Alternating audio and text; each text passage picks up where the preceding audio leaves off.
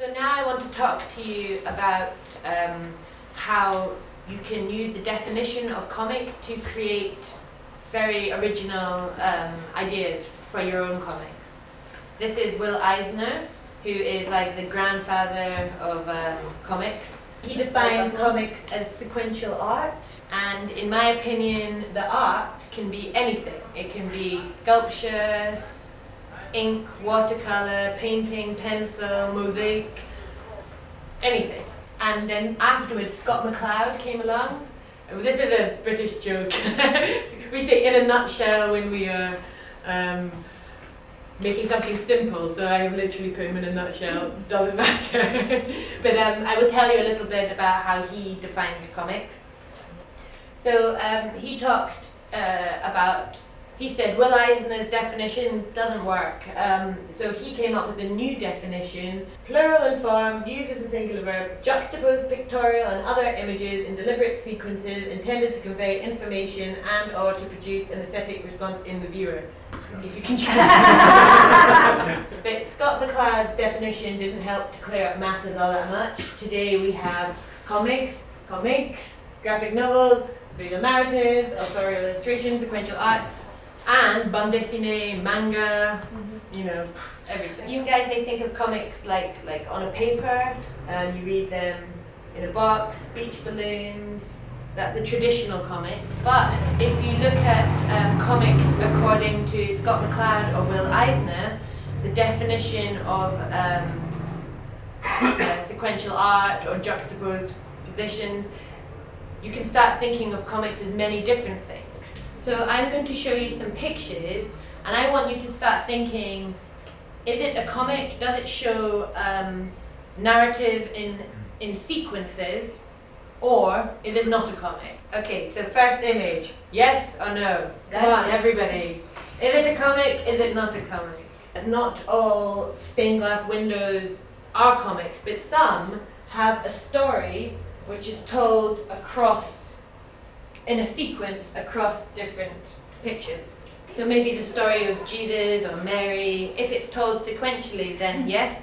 But if it's just some designs of, of religious imagery and it hadn't got deliberate sequence conveying a message, then I don't think it is a comic. Okay, next one, let's see. Okay, everybody. This is Warren Craig's autobiographical Brick. He starts off as a baby fetus, and then here he is um, cremated in a vase, yeah?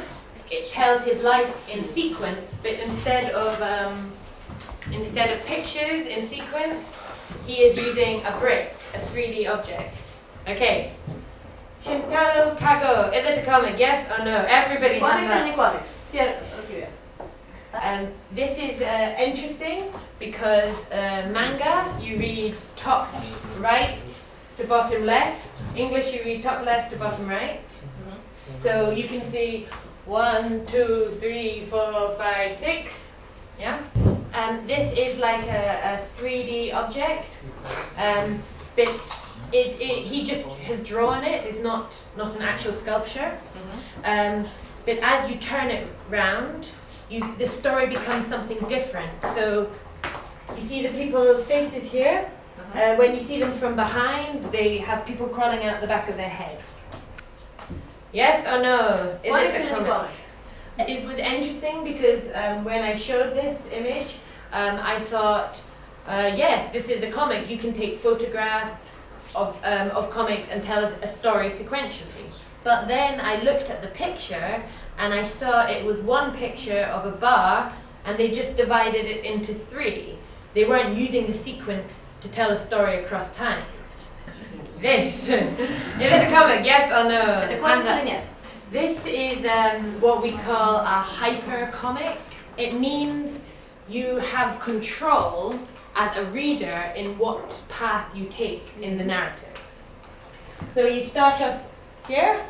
Which night is this? And then you can go up, or you can go down, or you can go this way. Just like in life, it is your choice. Um, have any of you read uh, Choose Your Own Adventure books when you fight a dragon? If you want to If you uh, want to fight the dragon, you go to page 4. If you want to run away, you go to page 28. Do you have those Были books? такие книжки у вас? You don't know. Ah. У тебя была? You have, you've read. Yeah. Yeah. Do you know the name? Ты знаешь, как они называются? А, ну, есть русские аналоги просто таких. Какие? Я не помню, ну, чародей и так далее, как-то что-то в таком духе. It's, a, it's an example of um, how you can you can uh, play a part in reading the story yourself and make a decision. This is an example of Indian comics, and it shows how uh, different cultures uh, and different countries look at comics in completely a new way. The Indian people looked at comics and they said. Um, uh, our life is not in little boxes, our life is open, so we are not going to draw our comics in little boxes. And they said speech bubbles don't mean anything, we don't we're going to do it differently. So um, you can see here when someone said something um, lovely, it is like a bird, but if they say something angry, it is like a scorpion's tail.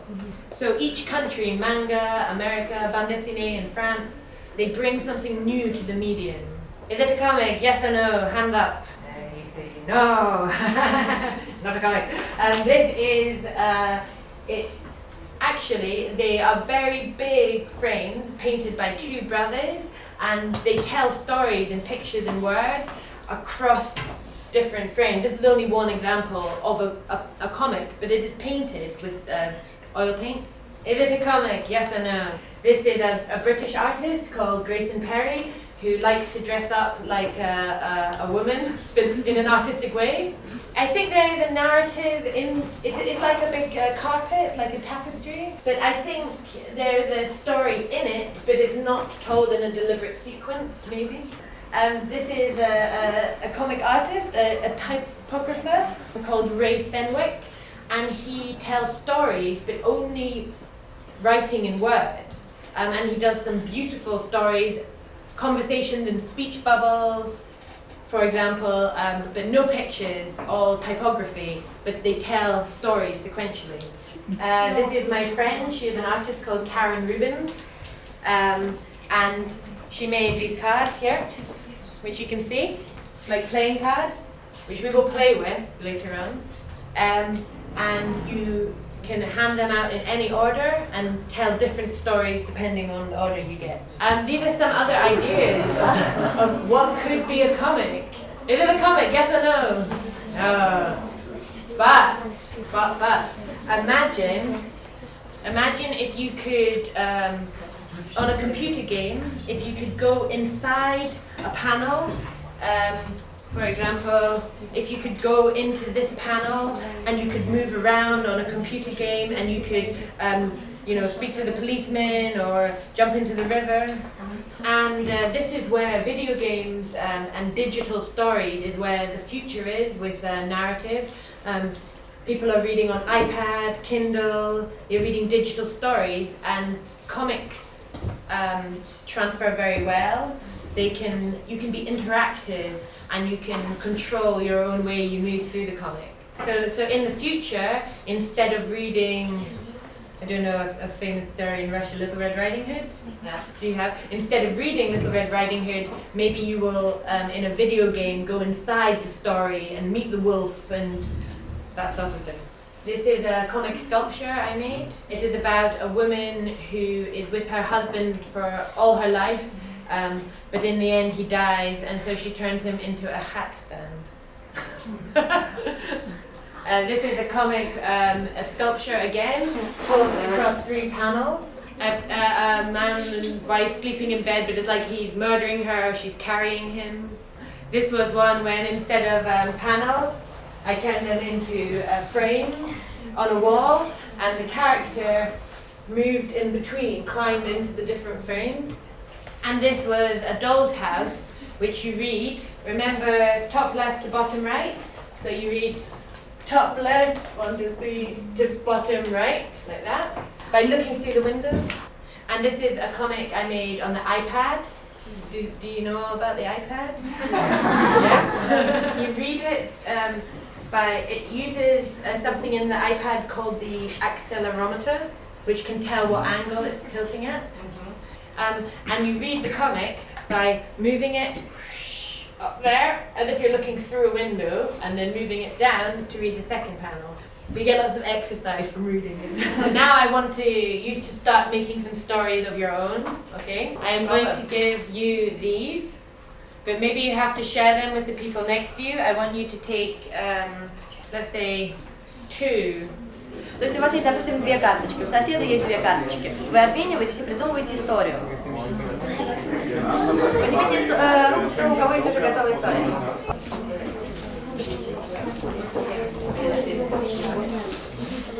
Жил был злой злодей, он хотел а, поссорить двух лучших друзей.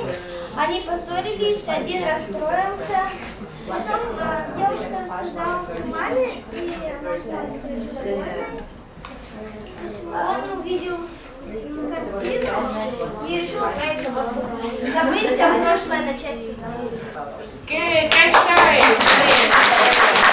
Смотрите, как здорово. То есть у вас карточек мало, а история такая длинная получается. То есть между первой карточкой и второй вы сами придумываете, что случилось. Например, между тем, как девочка разговаривает со своей мамой, а мальчик смотрит, э, видит гору, гору по телевизору, мы же не знаем, и как он вдруг уезжает, там, не знаю, в Африку, и все в его жизни отходить, да. Это же не сказано, мы же не видим, как он на самолет садится и улетает. Нет, вы сами это придумали. Это самое главное в комиксе. Как началась история? Жил один мужчина с женщиной. Он ей, он ей сказал, мы расстаемся, и она плакала, не плачь, и она его убила.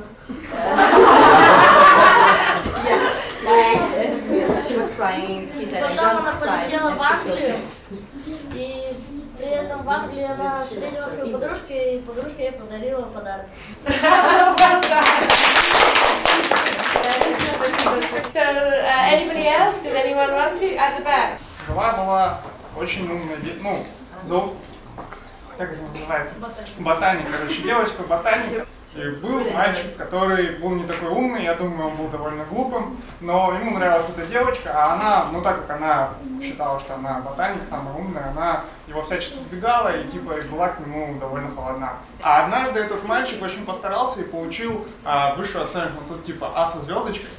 Прибежала та девочка-заучка и сказала, ах ты негодяй, ты изменял мне с другой умной девочкой и кинула в него цветком. В общем, она его очень сильно приревновала.